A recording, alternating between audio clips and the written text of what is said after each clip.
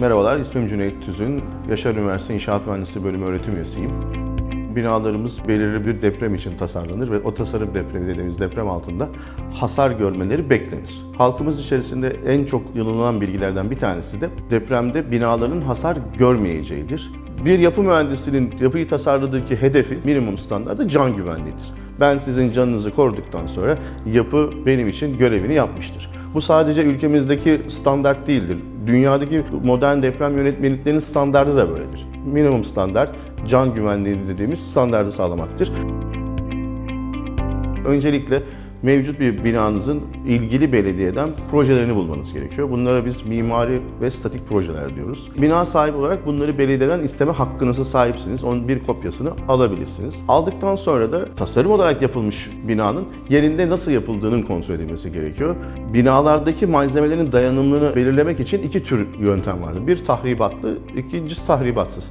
Tahribatlı yöntem dediğimiz numune almak yani karot almaktır. Hiçbir şekilde alınan karot sayısı, karotların boyutları düşünüldüğünde binalarınızın deprem güvenliğini olumsuz yönde etkilemez. Diğer bir yandan da mevcut deprem yönetmeliğinde karot alınması zorunlu olarak ifade edilir. Diğer bir deyişle kötü bir uygulama olsaydı deprem yönetmeliğinde bu işlem tanımlanmazdı. Tahribatsız yöntem ise belirli cihazlarla darbe etkisi, işte ona Schmidt çekici denir.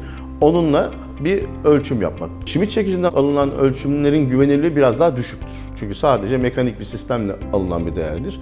Bunlar genelde şunun için yapılır. Karot sayısı az alınan yerlerde, karot sayısı alınamayan yerlerde bu çekiçle ölçümler yapılıp korele edilir diğer bilgiler. Ama tamamen o çekiçle bir bilgi elde etmek mümkündür ama güvenilirliği düşüktür. Diğer bir bilgi de binanızın bulunduğu zeminin özelliklerinin belirlenmesi çalışması yapılır. Bu saha çalışmalarından elde edilen bilgiler ışığında elde edeceğiniz sonuca göre binanızın deprem açısından güvenli olduğunu, güvenlikten kasıt canınızın güvenli olduğunu, hasar görmeyeceği anlamı çıkmasın tekrar burada. Eğer sınırı sağlamıyorsa yani canınıza kastedecek kadar kötü bir durumdaysa da nasıl bir iyileştirme, nasıl bir güçlendirme yapılması gerektiği tanımı yönetmeliklerde mevcuttur. Şurada bilinmesi gereken en temel şey hiçbir ölçüm cihazıyla numune almadan, bir mühendislik hesabı yapılmadan binaların deprem güvenliğinin olup olmadığına karar vermek mümkün değildir. Farklı mesleklerden insanlar halkımıza gelip bunları yapabileceğini söylüyor ama burada danışılacak en uygun kişi bir inşaat mühendisidir. Hatta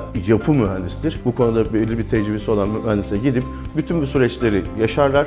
Elde edecekleri sonuca göre de güvenliyse yaşamaya devam ederler, değilse de gerekli aksiyon için işin ikinci aşaması planlanmış olur. Hafif hasarlı bir bina için yapılacaklar mümkün. Ancak yine teknik bir değerlendirme sonucunda yetkin bir mühendisin ne yapılması gerektiğini söylemesi en uygundur. Çünkü yine halkımız aramızda PRP dediğimiz karbon elyaflı elemanların her yere sarılıp bir şekilde depremden hasarları giderebileceği algısı oluştu.